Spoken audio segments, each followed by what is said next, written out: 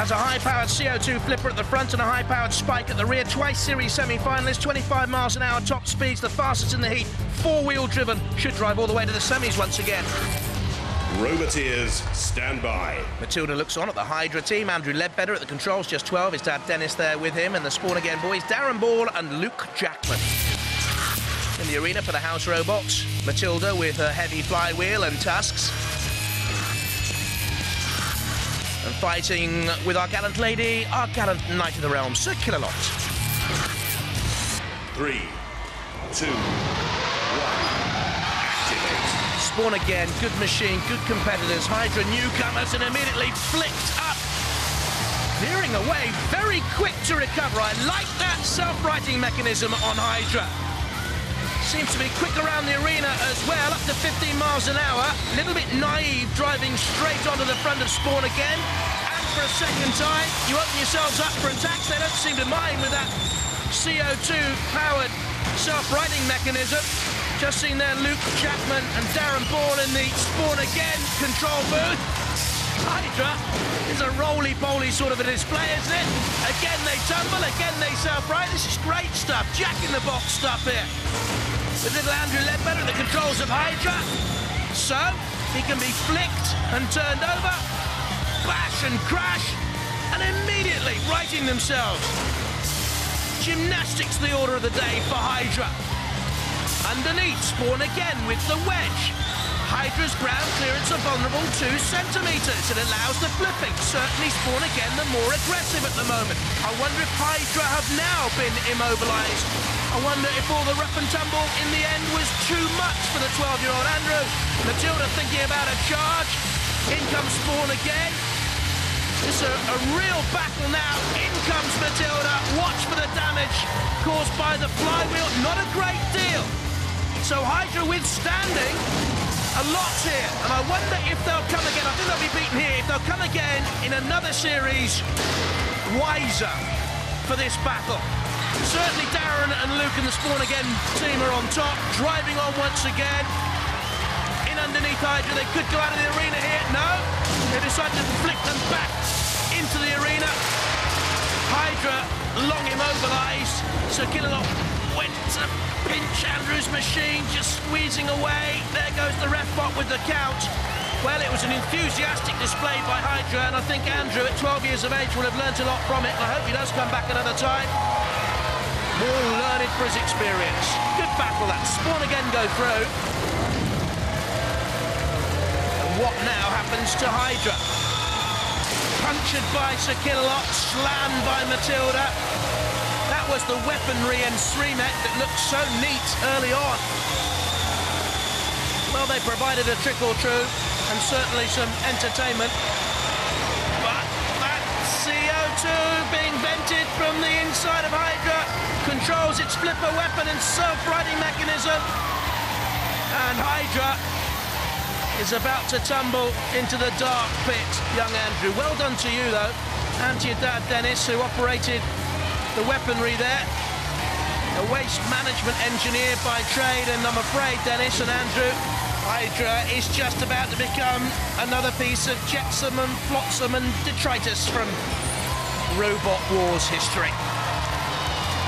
To go down into the pit. The final ignominy for Hydra.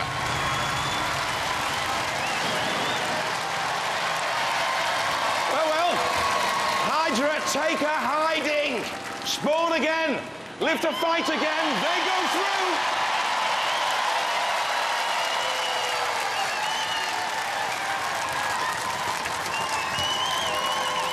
Awesome, Yeah, worked pretty well. didn't it? Yeah. That flipper is strong.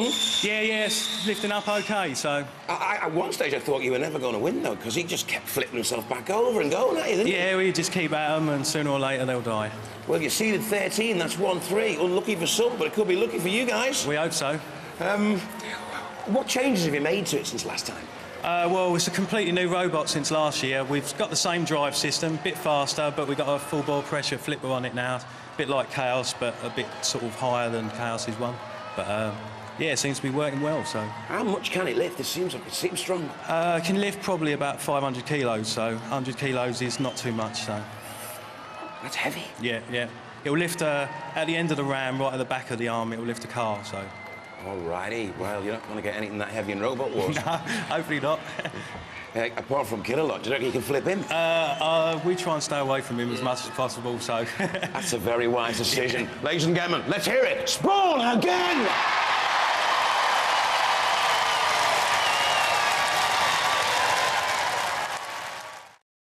Next round, Spawn again. Semi-finalists last time. Can you do it this time? oh yeah, we're going all the way this time. Yeah. What damage did you sustain? Uh, well, I managed to blow one of the solenoids on the robot, but that was after we immobilised the opponent, so it's just a minor problem. So We're done, okay. You've done a little bit of rewiring. Yeah, I had a bit of rewiring because sort of because it's so powerful, it uses a lot of current and keep burning out wires, but not anymore. Feeling confident, aren't you? Definitely, 100%. Again, two minutes, job done. Stop it. I can. I can tell.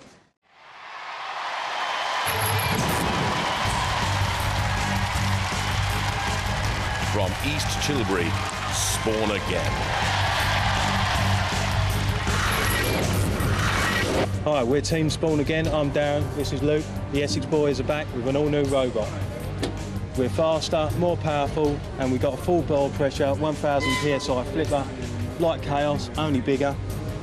And this time, anyone who comes near us is going into orbit. Roboteers, stand by. Spawn again. Born out of Spawn of Scutter and Scutter's Revenge for Darren Ball and Luke Jackman. And Evolution, Alistair Hare. Wife Katie would be with him. She's heavily pregnant. Matilda's in the arena for the house robots. The tough exoskeleton lacks self-control. Sergeant Bash, limited fuel capacity. Don't worry about that. He has plenty of strength to worry about. Three, two, one. Sergeant Bash there at top of your picture looked hungry to get into action as well. Spawn again on the attack though. Evolution spinning. The tank machine of Alistair Hare. Spawn again will try and get in underneath Evolution and flip it up and over using the high-powered CO2 front flipper like that. Evolution, the tank has crashed down. I would imagine at this stage it has now. You're not coming back from that. To be quite frank, the tank is out. What a performance by the Spawn Again boys. In underneath. And one way to oblivion from there.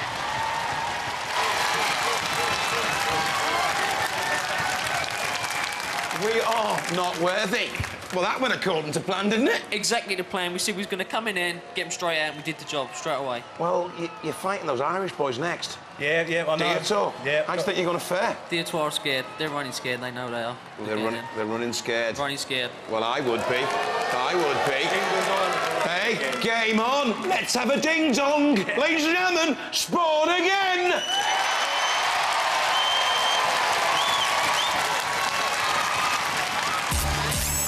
What a performance by Spawn again. Evolution out of the arena. This is how the Heat G final lines up. Diotoir against Spawn again. Should be fun.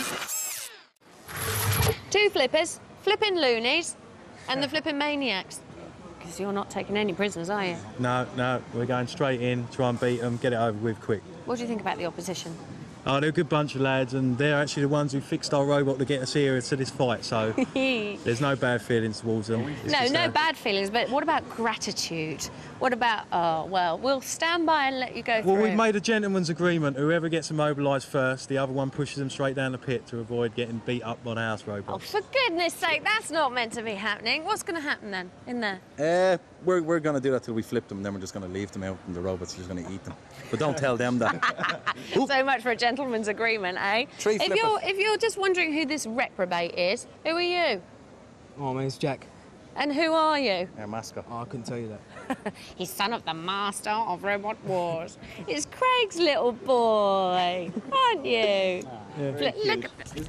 Look at this beautiful face. Does he remind you of anyone? He's taller than his dad, though, so we've got to watch out. Excuse me, I need to talk to the other team members.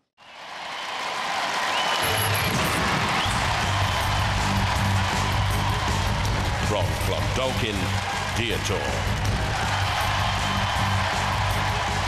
From East Tilbury, Spawn again.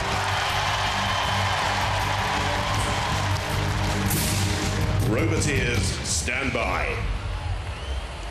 In the first day of Robot Wars, the Diotoir team have been great fun. Peter Redmond, Dr. Zulu, Joe Gavin, and now, of course, Jack and the Spawn Again team of Darren Ball and Luke Jackman have also learned vital lessons over the past years. For a start, how to dodge the likes of Sergeant Bash in the arena. And How to twist and turn away from the tusks of Matilda. Three, two, one. Activate. It's been fascinating to watch the development of these two sides. Spawn again now with that formidable flipper. Diotoir, oh, has lost one eye for a start. In underneath, Diotoir, very little ground clearance, but tumbled over. That was the first attack. And then as they tried to self-right fired their weapon, both eyes actually came off Diotoir. At the controls, Peter Redmond. As for his tactics, he says, oh, I'm never too sure, actually. And Spawn again releases the button that will send Diotoir down into that crevice after a worthy battle through this heat to the final, but no further from the lads from Clondalkin in Dublin. And Spawn again with the fur trophy already on the front flipper. Reaching the semi-finals of Scutter's Revenge in Series 3 and the semi-finals of Series 4 with Spawn of Scutter. We'll head through to the Series semi-finals again. Oh, Diotoir's on fire. We've seen that before, but we haven't seen quite as determined a performance from Dietor as this one. Sergeant Bash comes in with a flick of flame and Diotoir crowd favourites being taunted by the crowd now. And in a splash of steam, out go the flames and out go the hopes. In comes the sergeant once again. Well, there's going to be very little left of the polka dot fur. I don't know where they get the supply from every year. Only Peter Redmond and Dr. Zulu, Kieran Byrne and Joe Gavin would know. Perhaps it's something from their private lives they'd rather not discuss. We won't delve into that. Oh, and there they go, and there goes their machine. A charcoal heap. Tatters around the arena floor. Hey, hey, hey, Spawn again. What are you doing out there having a go? On looks Joe Gavin. In comes Matilda. More damage caused to Diotoir. Spawn again doesn't exactly look healthy after the exertions of this final, but we know that it's Spawn again through to the series semi-final. Diotoir a crumpled heap. Diotoir gets one in the eye. Spawn again through to the series semi-finals.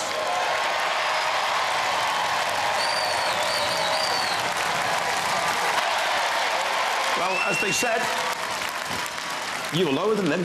Yeah, it was lower than them. You got the first flip in, Yep. and they haven't got a self-righter design flaw. Yeah, we did have a couple of goes of flipping them back over again and then thought, well, we made the agreement, we'll put them down the pit, and then we had trouble, so. You're in with the big boys now in the series semi-finals. Yeah, yeah, I know. What robots do you want to avoid? Uh, Razer. Everyone wants to avoid Razer. Razer and Hypno-Disc wouldn't be a very good uh, draw, I don't think, but we'll give them all a go. What do you think you're susceptible to? You're susceptible to the kind of um, the, the claw, are you? Uh, well, I think almost all of us are. It's basically sort of Razer's always the one you get in before he gets you, basically. But Yeah. um, other than that, we're sort of, I suppose we're as good as most of the others. It's just Mm. a question of uh, if it holds up on the day. So. Oh, yeah. Razer's coming up later in the competition. We'll see. We'll see how his robot looks and Yeah, if it yeah. performs this year. Yeah, that's right. He's always had problems, but this year he's keeping his fingers crossed. So. Alrighty, alrighty, ladies and gentlemen, they're into the series semi-finals. Let's hear it for Spawn again.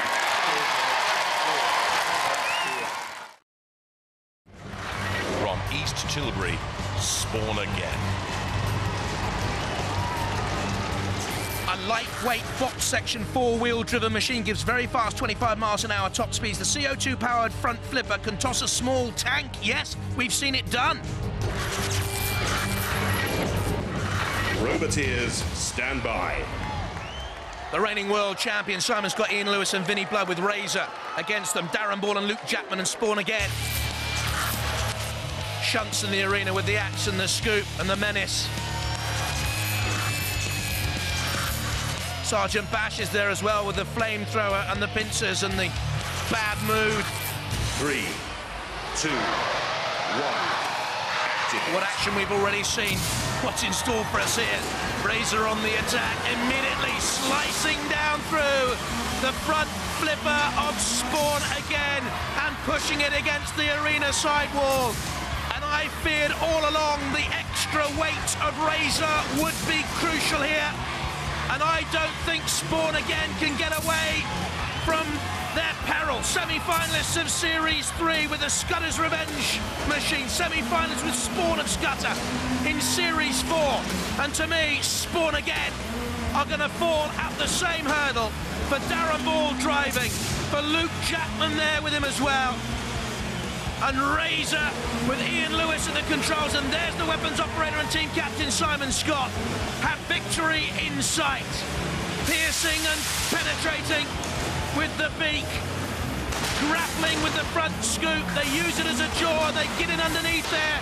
Spawn again with a very small ground clearance. But wide enough for Razer to get in underneath. And poor old Darren, oh, he's got a fight on his hands here to stay alive. They're on the border of the CPZ, the corner patrol zone. It means that Sergeant Bash and Shunt can attack. You get pushed into the CPZ. If you're new to Robot Wars, it means the house robots can have a go at you, basically. Razer trying to have a go at Spawn again. We'll have to give chase. Spawn again turns, comes in on the attack. Side by side, they strut their stuff. No flipper. No flipper. Ah, confirmation from the Spawn again team that the weaponry is gone. What should we do? Press the pit release and maybe seek a merciful release by going down into the pit yourselves. I don't think so. I think it's just bad driving.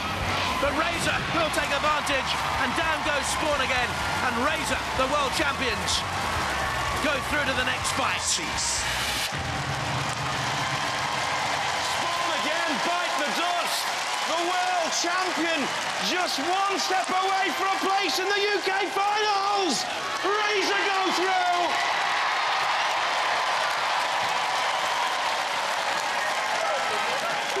What can I say, Mum? What are you saying? What are you saying? Well, what can we say? I can't believe the thing was still running after that. But I know, we went right the way through, well, yeah. we said, oh, we'll go for the pit and uh, Yeah. see what happens. And uh, it died just as I got by the pit, and that was it.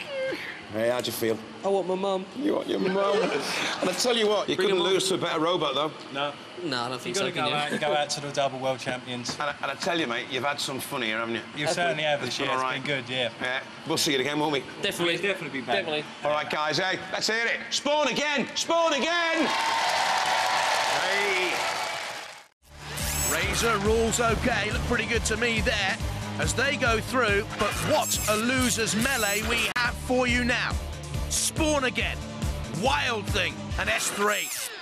God knows what this is going to be like. It's going to be absolute chaos in there. In fact, I think that's the one robot that's not in there. the loser melee. Spawn again. You've repaired all your damage from the last battle. Yep, we have. Well, some of it anyway. And how are you feeling about this? Uh, we'll find out in a minute, I think. As I said, I think you've just got to watch your backs.